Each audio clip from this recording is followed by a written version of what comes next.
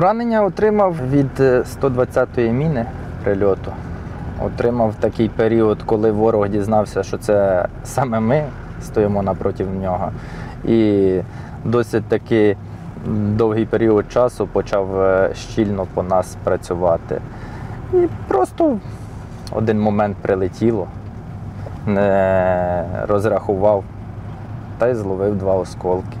Боєць Азову з позивним Алі приїхав з передової, щоб пройти лікування. У Тернополі розробляє руку та ногу, поранені осколками. Розповідає, повертатися до цивільного життя було незвично. Коли ти знаходишся там, ти думаєш, що якось більше людей за це переживає. А ти повертаєшся сюди і дивишся, тут всі живуть своїм життям, бо денність і певний відсоток тільки людей, які дійсно переживають і розуміють, що йде повномасштабна війна, і якщо ворога не зупинити там, то тоді це все буде тут. Почалася повномасштабна війна, Алі був за кордоном. Як я буду дивитися своїм рідним, близьким в очі, коли там і знайомим, що я просто собі відсиджуюсь десь за кордоном, а тут молоді хлопці воюють і кладуть життя. Тому вирішив просто зібратись, поїхати і взяти, як кажуть, до рук зброю і стати на захист нашої землі. Повернувся додому в березні 2022-го, каже боєць. На кордон, з кордону пішком ще 5 кілометрів йшов, тому що не було чим добратися. Я не розумів, що може бути така проблема добратися взагалі в Тернопіль. Там. Тому що всі тільки з країни, там черги були тоді кілометрові, що всі втікали з України. І добирався в Тернопіль, добрався, і тоді став так, як в лави нашої тероборони.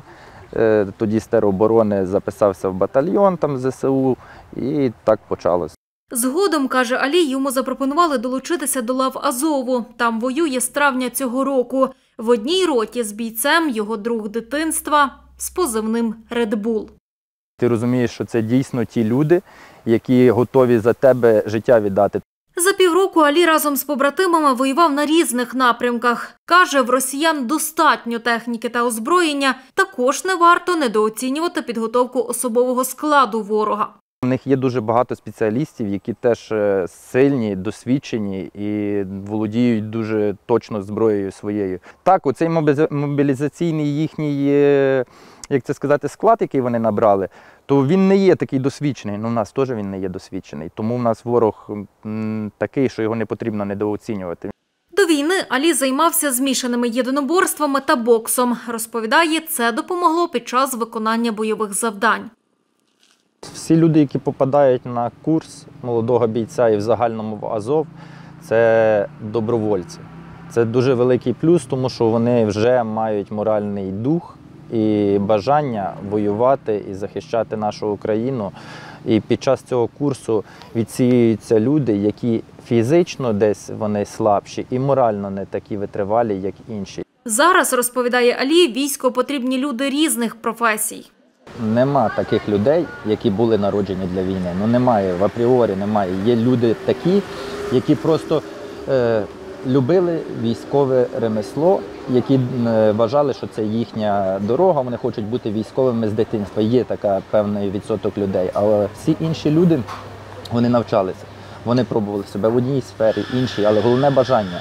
Армія не складається зі штурмовиків тільки, які йдуть в бій, стріляються, штурмують, і, і така в них діяльність. Армія складається із столовиків, із медичної служби, із тих самих кадровиків. Тому кожна професія важлива.